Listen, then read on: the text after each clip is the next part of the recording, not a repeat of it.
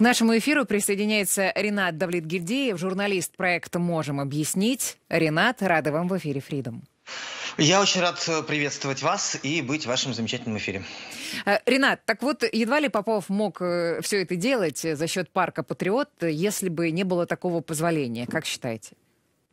Абсолютно в этом не сомневаюсь. И также не сомневаюсь, не сомневаюсь в том, что все эти а, задержания последнего времени, а у нас что не неделя, то какой-нибудь очередной заместитель министра обороны или заместитель управления какого-нибудь министра обороны а, начинает, попадает в СИЗО. Да? И почему, с чем это э, связано? Очевидно, что Тимур Иванов наконец-то начал давать показания. Тимур Иванов, э, ключевой заместитель бывшего уже министра обороны Шойгу, человек, э, который отвечал за всю финансовую составляющую российского военного ведомства. Я абсолютно не сомневаюсь, что вот эти задержания связаны с тем, что он начинает потихонечку да, раскрывать карты, его э, допрашивают, допрашивают его уже на протяжении последних месяцев, и я думаю, что тем самым он пытается часть вины себя каким-то образом снять, и я думаю, что ни один еще генерал высокопоставленный, особенно, особенно из финансового департамента, э, вот ровно так же с э, руками за спиной э, мы увидим эти кадры, э, будет задержан и э, отправлен уедем куда-нибудь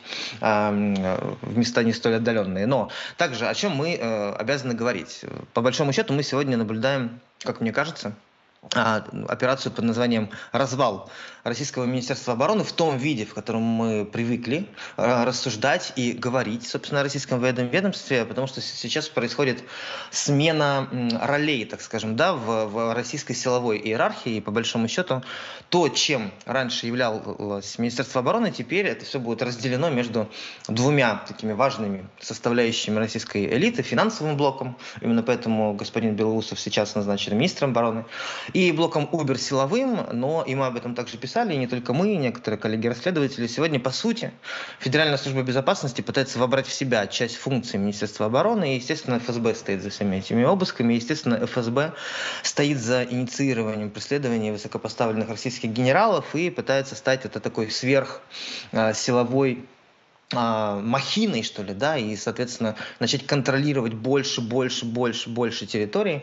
Ну и этому, пожалуй, есть э, очень понятно, в том числе такое культурологическое объяснение, что ли, да, если война является скорее э, ну, определяет некое государственное устройство России сегодня, да, то есть война же, она существует в первую очередь не на фронте, она существует там в э, репрессиях внутри страны, в запугивании, в работе с государственной пропагандой, в том, чтобы называть э, белое черным и так далее, и так далее, то, собственно, и курировать то, что является этой войной, конечно, э, должна вот эта вот сверхсиловая чекистская группировка, а вовсе не в привычном понимании генералитета. Я думаю, что именно поэтому будем наблюдать эти аресты и дальше, которые закончатся развалом, перераспределением усилением роли Министерства обороны, которого не будет уже в следующем году тем органом, к которому мы привыкли.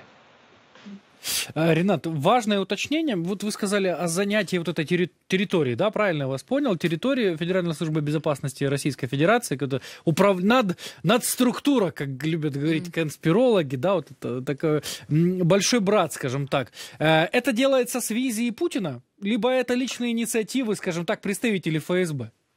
Ну, я думаю, что делается с визы Путина и курируется это Николаем Патрушевым, который является одним из наиболее влиятельных людей в сегодняшней российской политической иерархии. Но мы каждый раз, когда мы говорим, э, вот эти конспирологические рассуждения начинаем вести по поводу того, кто зачем стоит, мы должны напоминать себе и друг другу, что э, четкого представления о том, э, кто руководит Россией сегодня, у нас действительно нет. И э, там, что именно знает Путин, что именно контролирует Путин, мы сказать не можем, как и не можем мы сказать, на насколько близки, например, да, их нынешние взаимоотношения с Николаем Платоновичем Патрушевым, но про то, что э, позиции Николая Платоновича Патрушева велики, непоколебимы, мы, конечно, можем догадываться, в том числе, например, наблюдая за головокружительной карьерой его сына Патрушева-младшего, которого не, не так давно опять э, повысили в э, российской карьерной э, иерархии. Он семимильными шагами движется по этой лестнице, и его по-прежнему называют одним из вероятных преемников. Но, как считают э, люди, которые занимаются расследованием того, что происходит с Министерством обороны, да, понятно, что мы можем ориентироваться только на слухи и сливы, тем не менее, э, вот э, нам мы можем сделать вывод, что ФСБ вступила в эту войну за создание сверхведомства, сверхсилового ведомства, чтобы все точки сходились только внутрь федеральной, ввели, да, внутрь Федеральной службы безопасности, и не было никаких альтернативных силовых центров влияния. Тоже понятно, почему это происходит, потому что любой бунт в России, любую смену власти в России, да, может организовать исключительно некая структура, которая есть э, в которой есть военная составляющая, да, и мы э, можем вспомнить прошлогодний бунт э, Евгения Пригожина, и совсем недавно была годовщина его убийства, когда, вы помните, его частный самолет сбили в небе над Тверской областью.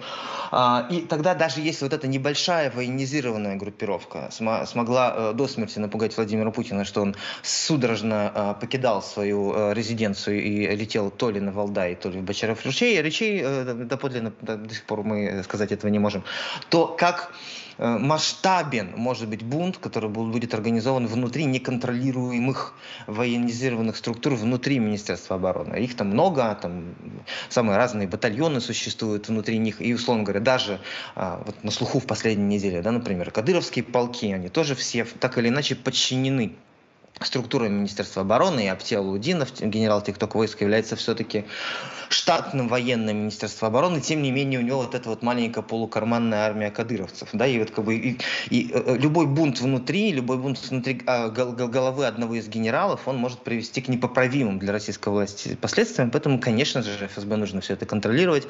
ФСБ равно Путин, ФСБ равно чекистский путинский ренессанс, ФСБ равно а, так, так или иначе курирование Николаем Патрушевым, который ну, является, безусловно, ключевым силовиком сегодняшней российской политической иерархии.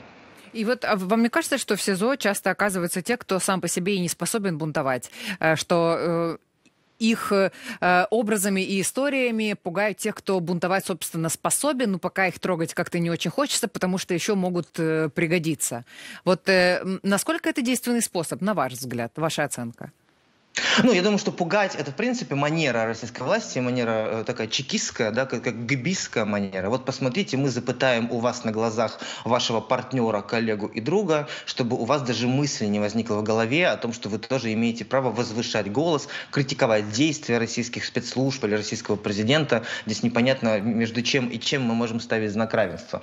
Конечно, показывают, что будет с вами, если вы будете вякать. Если вы будете вякать, если вы будете не соглашаться, если вы будете говорить, что какой-то государственный курс, линия партии и правительства не соответствует вашим представлениям о прекрасном. О том, что э, проигрыши на фронте может быть связаны с неверным руководством России, ну, там, действий, боевых действий, да, и так, и так далее, и так далее. Вот если человек позволяет себе делать подобные заявления, а мы помним, когда появлялись офицеры, конечно, не, до, не на уровне генералов, но на уровне высокопоставленных офицеров, которые записывали видеообращения с критикой Владимира Путина, с критикой руководства Министерства обороны, эти офицеры быстренько убирались из информационного пространства, и они больше не присутствовали на медийном поле. Почему? Потому что, конечно, власти невыгодны, их запугивали, их отстраняли, их отправляли в отставки. И чтобы вот такие не появлялись, то, конечно, нужны вот такие показательные дела. Но мы наблюдаем, что вот сейчас, конечно, эти показательные дела, они в первую очередь касаются генералов так, так называемого АХО, да, а, административно-хозяйственных административно-хозяйственных управлений, да, которые не занимаются войной, они а, занимаются деньгами, бумажками, вот этими коррупционными схемами. Парк Патриот, который да, вы упоминали, это же главная вообще коррупционная такая не знаю, и стройка, и просто какая-то обманка была последних лет, потому что, ну, только храм в рамках этого парка Патриот стоил, строительство храма стоило, стоили 2 миллиарда рублей, этого самого храма, откуда в последний момент убрали икон, иконы Путина и Сталина, а так-то считается, что они тоже у нас где-то там э, в божественном пантеоне существуют. Сам парк обошелся в десятки миллиардов рублей, естественно, половина, не знаю, большая часть, я уверен, то есть как бы, ну, я могу только только догадываться, но абсолютно большая часть, я уверен, денег была разворована, разворована в том числе Тимуром Ивановым, этими генералами. Очевидно, что эти генералы должны оказаться в тюрьме. Очевидно, что они варье. Очевидно, что они построили себе золотые дворцы с бронзовыми унитазами. Как бы в этом сомневаться вообще не стоит. Но они такие, они все винтики в системе, да, система, она как бы за них придумала правила игры, они не могли не участвовать в этих, в этих коррупционных схемах, потому что если ты в них не участвуешь, ты все равно сядешь, потому что ты обязан быть, быть участником, ты обязан быть, как бы, ты обязан э, тоже замораться, да, вот, вот как бы все люди, которые находятся внутри вот этой коррупционно-силовой модели российской власти, они все должны быть помазаны одной краской, они все должны воровать, они все должны друг друга прикрывать, потому что, как бы, если ты не воруешь, то тебя невозможно можно потом взять за задницу. А всех нужно, чтобы была... Эта возможность должна быть у, у, у силовиков, у ФСБшников любого наглого, взорвавшегося генеральчика офицеришку. Потом вот так вот, вот показательно судить и приговорять, и приговорить там, к 10-15 годам за преступления, которые ему навязали для, э, для совершения. Но тем не менее, это правило игры. К сожалению, по-другому в России невозможно сегодня. Андрей Белоусов, когда, помните, стал министром обороны Российской Федерации, такую фразу сказал, которую военкоры в, в ракурсе Курской операции повторяли. Ошибаться можно, врать нельзя. А, э, при Белоусове ситуация изменилась кардинально ли? Вот эти чистки, они вообще, это про коррупцию. Это там хоть, хоть где-то рубль, рублем больше, рублем меньше, тысячами, сотнями, миллионами, как правильно говорить. Я не думаю, что можно Россию очистить от коррупции, потому что коррупция, коррупция такая идейная составляющая нынешней российской власти. И это все как бы это такие показательные суды, э, бей э, своих, чтобы, чтобы, чтобы свои, другие свои боялись еще больше. Э, конечно же, никакой рубль там дополнительный в российскую казну от этого не упадет, но просто как бы, когда нужно будет зачистить кого-то, зачистят. А, а по поводу вот не врать, э, не, нельзя не врать. Наоборот, если ты не врешь, значит ты как бы ненормальный. Как бы врать врать. Врать – это главный принцип российских элит. Если ты врешь, то ты можешь оставаться в этих элитах. Ложь является смыслообразующей структурой как бы, современной России как таковой. Да? То есть с точки зрения какой-то метафизики э, России, она как бы базируется на этой лжи. Вы знаете, вот я вспоминал уже сегодня в одном из эфиров, э, в воскресенье 20 лет Беслану, да, и вот на самом деле да. та, та точка, вот та точка 20 лет назад, на самом деле точка начала лжи, бесконечной лжи. Как начали врать тогда, так вот бесконечно врут, врут, врут, и ложь стала таким как бы символом этой лжи. Вот как бы, мы, мы отмечаем 20 лет лжи как главного принципа как бы, руководства страной, которая по-прежнему носит название Россия. Ренат, мы благодарим вас за то, что вы присоединились к нашему эфиру. Ренат Давлет-Гильдеев, журналист проекта «Можем объяснить», был с нами на связи. Если в вашей стране заблокирован доступ к видеосервисам, в том числе YouTube, прямой эфир телеканала Freedom круглосуточно доступен на нашем сайте uatv.ua. Чтобы получить доступ к нему через VPN, введите в поисковой строке вашего браузера «Скачать VPN» и установите приложение согласно инструкции. Таким образом, вы получите доступ к открытому просмотру эфира нашего телеканала. Также на сайте Freedom самая оперативная и объективная информация в открытом доступе.